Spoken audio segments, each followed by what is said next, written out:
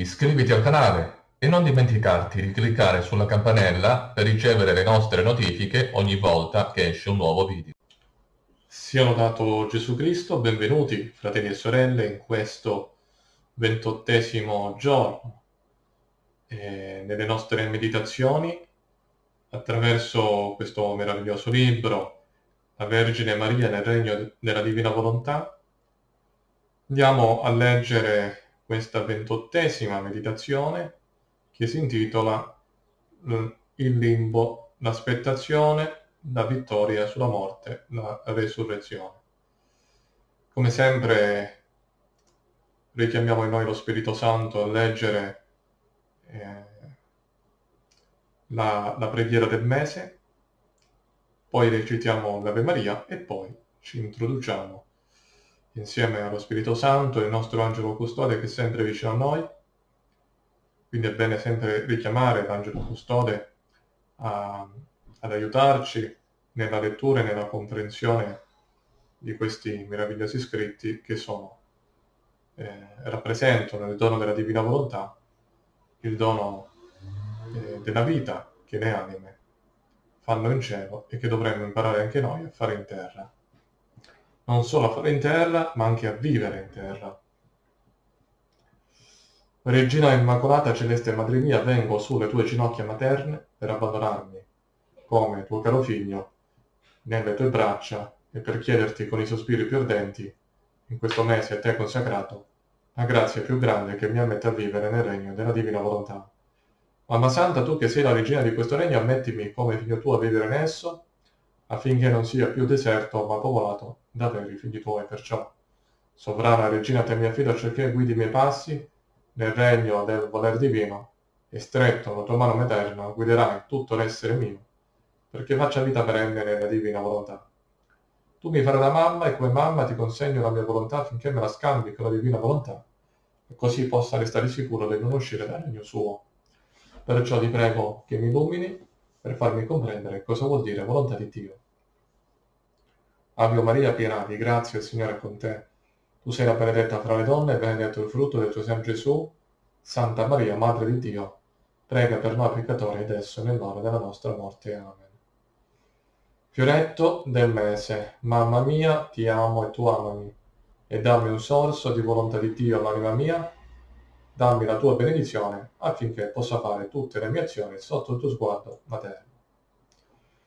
Luisa, mamma trafitta, la tua piccola figlia, sapendoti sola senza dell'amato bene Gesù, vuole tenersi stretta a te, per farti compagnia nella tua amarissima desolazione.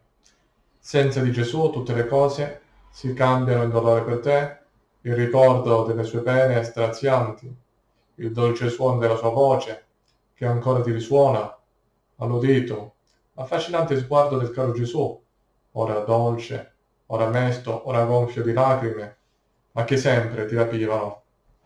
Il tuo cuore, materno, non averli più con te sono spade taglienti che passano da una parte all'altra del tuo cuore trafitto. Mamma desolata, la tua cara figlia vuole ad ogni pena darti un sollievo un compatimento, anzi vorrei essere Gesù per poterti dare tutto l'amore, i conforti, i sollievi, i comportamenti che ti avrebbe dato lui stesso, in questo tuo stato d'animo amaro, desolante.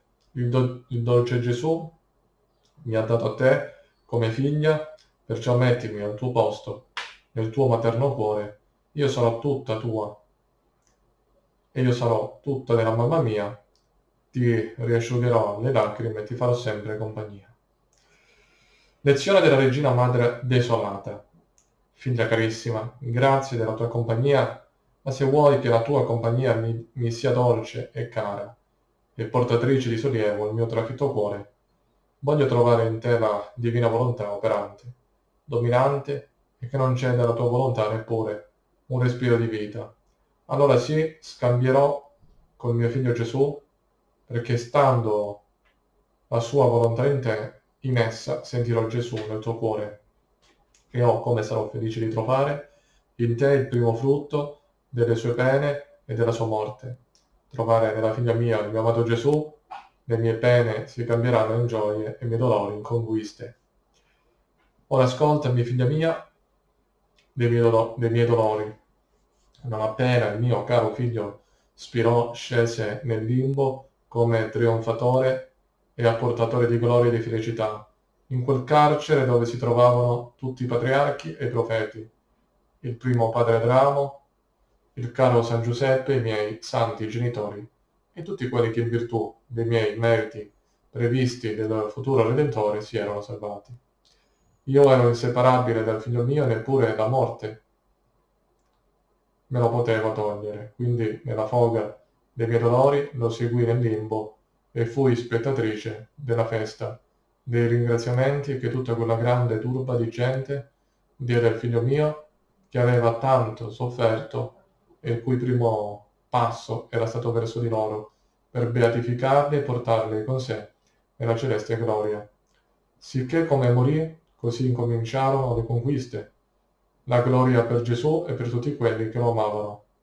Questo, figlia cara, è simbolo di come quando la creatura fa morire la sua volontà, con l'unione della volontà divina, incominciano le conquiste nell'ordine divino, la gloria, la gioia, anche in mezzo ai più grandi dolori. Quindi adonta che gli occhi dell'anima mia sanguinarono il mio figlio e mai lo perdete di vista.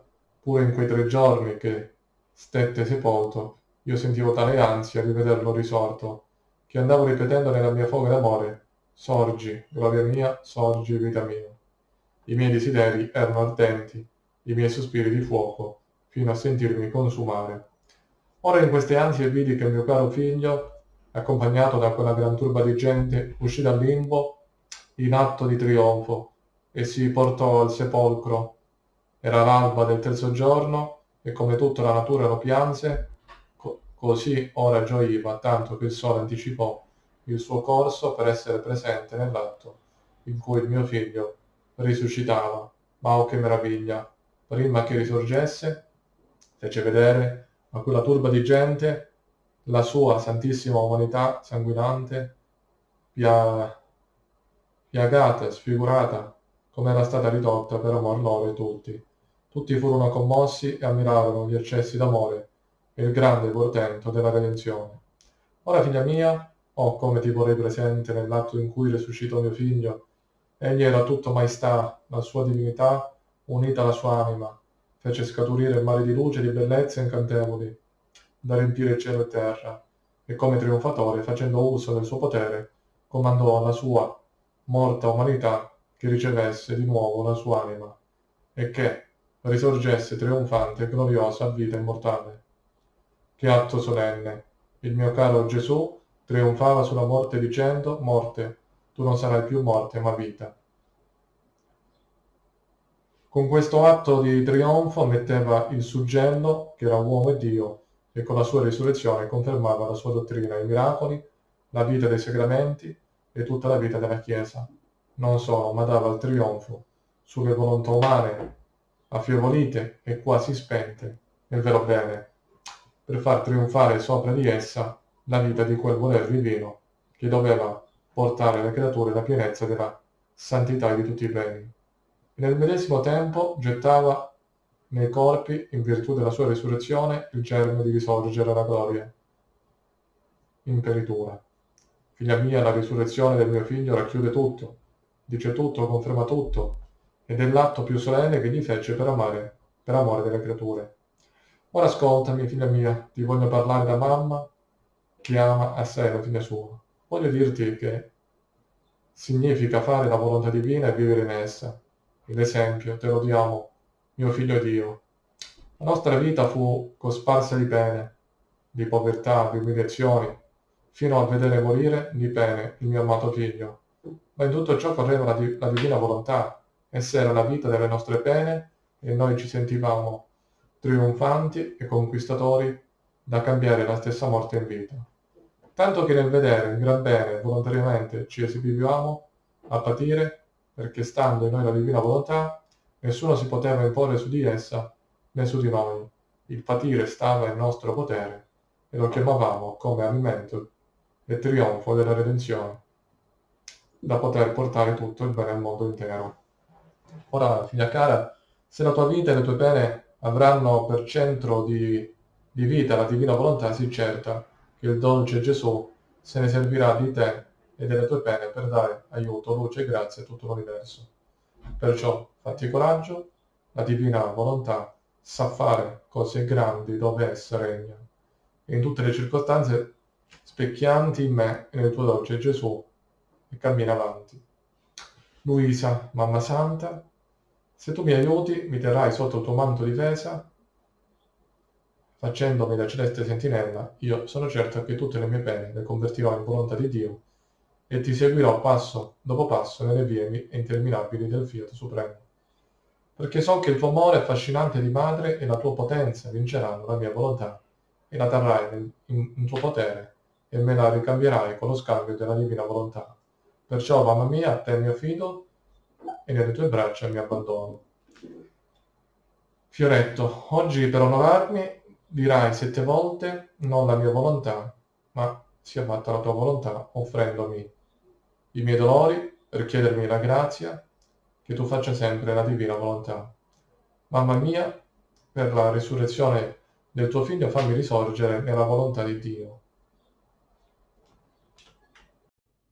Finalmente è uscito il mio libro la mia esperienza di conversione a Meggiugori nel 2012 attraverso questa estasi con Gesù Cristo. Potrai scaricare il mio libro gratuitamente dal mio sito, troverai i link in descrizione ti abbraccio e ti porto nelle mie preghiere.